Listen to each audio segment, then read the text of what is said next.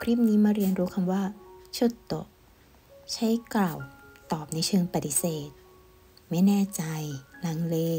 ไม่สะดวก ไม่สามารถทำได้ แล้วก็แปลว่าไม่มีได้ด้วยนะคะ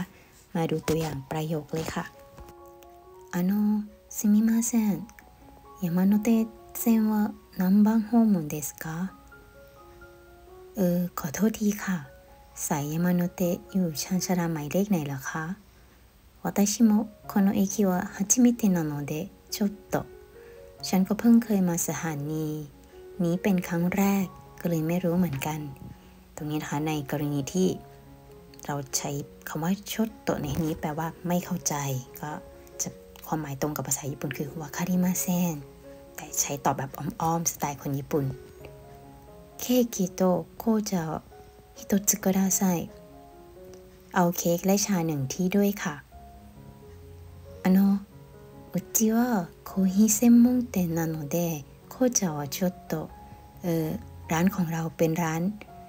กาแฟโดยเฉพาะก็เลยไม่มีชานะ ในที่นี้ก็คือ จะแปลว่าไม่มีก็ตรงกับภาษาญี่ปุ่นว่าอาริมาเซนแต่ที่จะตอบว่าไม่มีก็ใช้คำว่าชดโตเป็นการบอกปฏิเสธทางอ้อมๆให้ลูกค้าได้รู้ว่า ไม่มีขายไม่มีบริการนะ ลูกค้าโหจะได้ ลดเลิกความตั้งใจที่จะสั่งชา เพราะว่าไม่มีขายนั่นเองนะคะสมิすみません了解していただけませんかขอโทษทีค่ะ รบกวนขอแลกเงินได้ไหมคะเดี๋ยวไกว่าจดโตไม่สามารถแลกเงินได้ค่ะ ความหมายของประโยค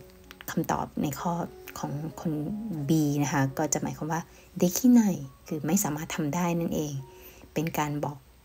ฏิเสธแบบอ้อมๆ โดยใช้คำว่าชุดโตะตรงนี้นะคะถ้าเกิดคนญี่ปุ่นเขาพูดคำว่าชุดโตะมันไม่ได้แปลว่าเล็กน้อยเสมอไปนะคะ ในที่นี้คือแปลว่าไม่สามารถทำได้ตามที่คุณ request หรือคุณขอร้องมา今日一緒に飲みに行かない วันนี้ไปดื่มด้วยกันไหมเคียวว่าชุดโต นที่จะบอกว่าเกียวว่าอิเคมาเซนอย่างเงี้ยก็จะตอบแบบ 今日は行けません นี่ก็เหมือนแบบตอบแบบขวานผ่าซากแบบตรงไปตรงมาเกินไป มันไม่ใช่สไตล์คนญี่ปุ่นนั่นเอง คนญี่ปุ่นก็คือจะตอบแบบทางอ้อมๆว่า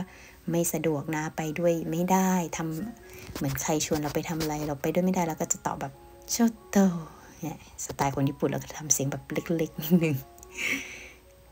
ความหมายในนี้ก็จะแปลว่าสโกกาวารุยนะคะ ยังไงลองไปฝึกพูดบ่อยๆ แล้วคุณจะเก่งขึ้น พบกันใหม่คลิปหน้าขอบคุณค่ะ